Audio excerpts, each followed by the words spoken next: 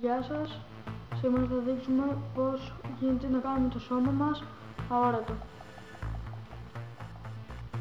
Πάμε σε ένα μαγαζί με ρούχα, πηγαίνουμε στα outfits. Και πηγαίνουμε outfits hairstyle style. Αγοράζουμε το πρώτο.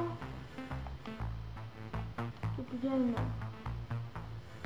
Tops πηγαίνουμε στο τελευταίο τελευταίο που λέει Utility Vest και παίρνουμε το No ε, Utility Vest και είμαστε αόρατοι. Μόνο το σώμα